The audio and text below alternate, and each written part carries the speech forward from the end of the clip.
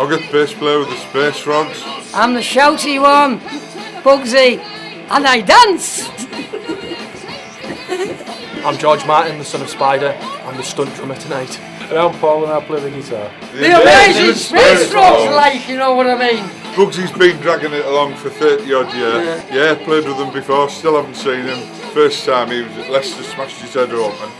And uh, I had to go to the hospital and sort him out and get his back. And we played with him in Article that Paul knows nothing about, but he does loads of apparently I think. I think we've had a rehearsal.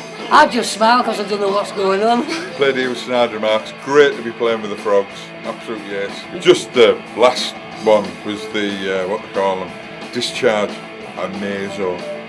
So, got some great ones coming up, GBH and I. Absolute. Well, uh, yeah, I've been dancing with this band called Diversity, you know, showing the ropes and all that. Uh, but people think, why did I do it? Well, basically, I got paid to do it, time off work. I didn't have to go to work, I danced instead. Are you? That's my fucking bird!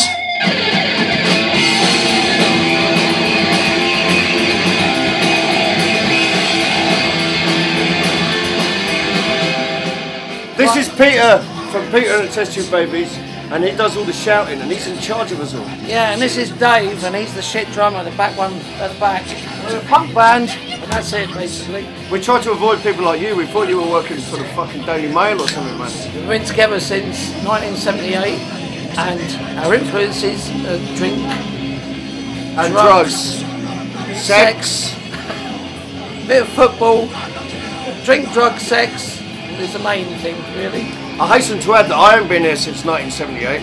In 1978, I was playing with my fucking Lego, right? Because I was 10. I thought the venue was great. Yeah, yeah, nothing Yeah, wrong yeah. with this place. Yeah, fantastic. Good crowd, yeah? It's a great crowd. Yeah, yeah. yeah, yeah. As long as they're pissed, we're happy. As long as we're pissed, they're happy. Doing a good job. Every city, every town needs someone who's going to put on punk bands. Punk rock's never died for us. It's always been there. It's always happening. It's, uh, every time we go to, there's still an audience. It seems like there always has been.